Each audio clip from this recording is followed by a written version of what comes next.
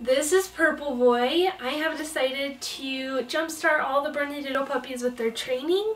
And so I'm just going to show a little, a couple little video clips today of some things we're starting to work on and then update every day. The first thing is actually introducing treats, which I found out he's one of the few that does not like treats, at least not yet. People don't realize puppies initially don't know how to eat treats and a lot of times like they'll just spit them right back out after you give them a treat. Obviously that's not conducive to training, so I use peanut butter, which he absolutely loves. And to start off with training on sit, I'll just say sit and then lift up. Oh, he's already starting to get it. So, come on. So again, sit and lifting that just above his head and then when he's all the way on his butt with his front paws down, I'll give him a little bit. Some puppies will sit down and then try to like stand up towards you and they'll raise their paws and I just kind of wait and level it back out and sit. Good boy. And you can also use this for leash training, which I'll show in a second, but same thing as teaching them to go in their crate. Crate. Come in. Crate. And usually they're a little apprehensive about the threshold for whatever reason. So a lot of times I will pick up their front paws and then kind of help them. Crate. Good boy. And then sit. Good boy. It can be a little messy at first, but it really helps them to start getting an understanding of it. Good boy, come here. Alright, let's do one more time. Ooh, what's that? Alright, crate. Crate. He's leaning to see how far he can go. Oh! And one of his siblings are very sad they're not getting peanut butter. And sit. Good boy! These puppies are so smart. I absolutely love doing these little sessions. I keep sessions usually like three to five minutes. Some puppies are a little bit better at kind of sitting and going through 10 minutes, but you definitely don't want them to start to get bored and fussy. So I just keep it nice and short, and he is currently in there checking out the chewy I have to work on crate training, which just helps reinforce that the crate is a good thing. So, lime girl, we're going to show you her sit and also introduce the leash for the first time. She does love her treats. Can you sit? Good girl. It only took a couple of reps for her. She is very, very smart. And sit. So you're just, I mean, super simple. You lift the treat above their head, so naturally they have to sit to kind of look up at you. And pretty soon she can do that just off of the voice command.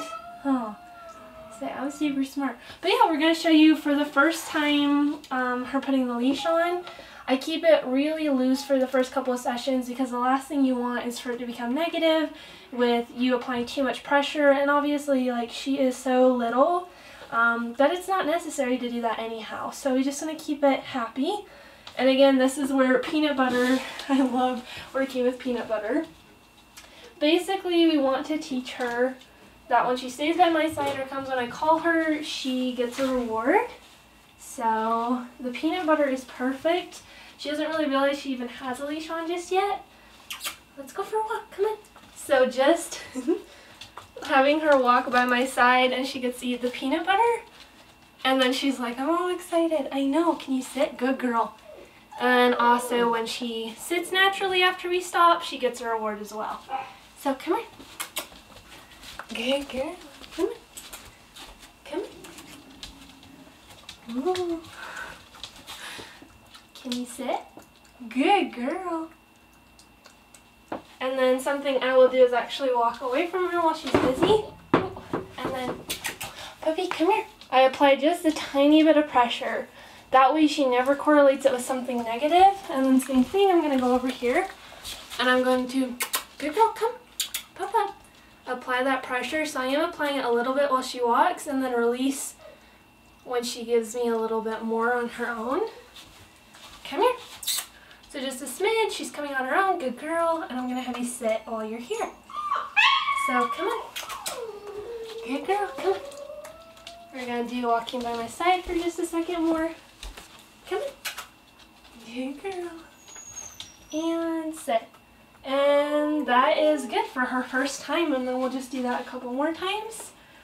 That way it's always positive. You always want to end on a positive note, even when you're keeping it really short and sweet. Hmm, good girl. Come here, baby. Hmm. This is Little Mint Girl. We are going to start getting her to go in her crate on command. This just helps with the positive reinforcement too when it comes to crate training to teach them to go in instead of like having to shove them or anything, which I see a lot of people doing, and then it starts off on a really bad foot. Hi, she is super, super smart, so I'm just going to let her smell the treat. Good girl, crate. And then I say crate while I kind of guide her in, and she already knows sit, so she did that right off the bat. Good girl.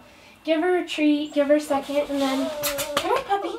I'm going to call her out. This is also helping her with recall, that she knows when she comes back to you. It's a good thing. Sit. Good girl. Yes.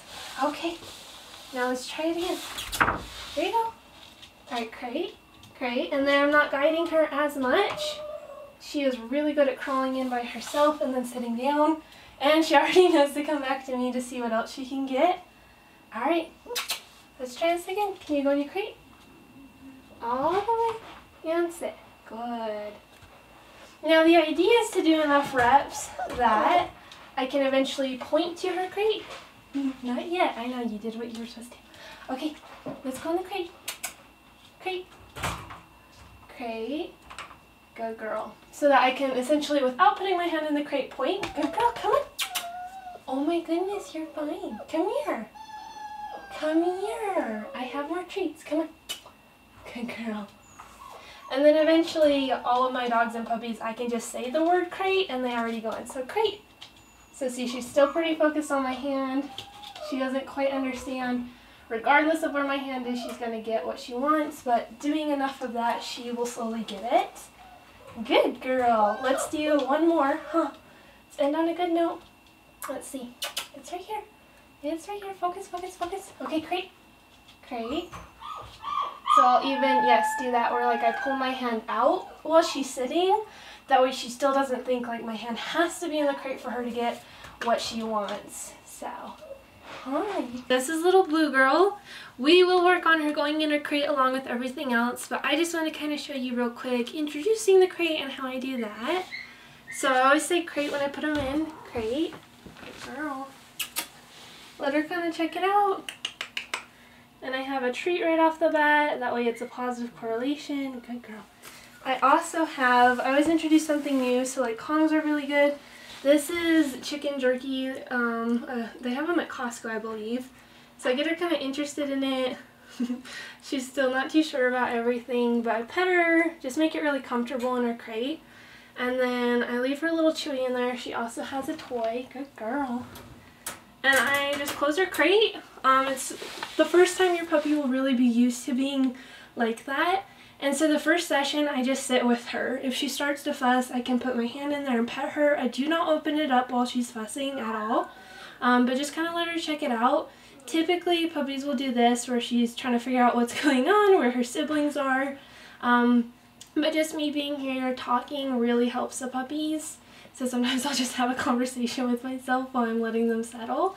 And then yeah, whenever they're chewing, that's releasing endorphins for your puppy. So like I said, Kongs are great, toys, chewies. When I first get a puppy, good girl, and I'm teaching them to be in their crate, I actually feed them in there. That way they learn, oh, the crate is such a good thing. So anything positive you can do. And the first session will be just a couple minutes of this. And there she goes. She's like, ah, I kind of went out, so that's fine. Um, like I said, don't open it while they're nervous or anything because you're trying to teach her to be calm. Girl, you're fine. And then I will further that and start like walking away for just five seconds. Just very little spurts of time while they're busy chewing on something. And then I'll make it 10 seconds and then 15. Come here. Hey honey, come here. You're fine.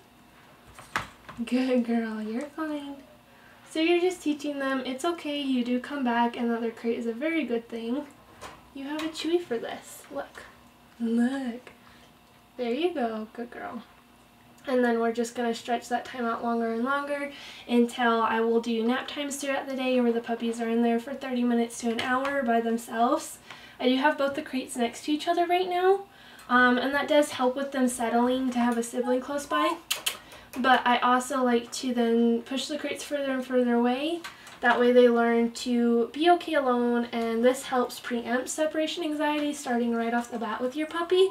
That way they learn it's totally comfortable when they're by themselves that you do come back and that they get their chewies, their treats, those fun things when they're in their crate. So we'll just keep doing little sessions throughout the day with all of the puppies to help build that and it will really help jumpstart them for their new families and learning to be alone in their crate. Come here. Good girl. You got this.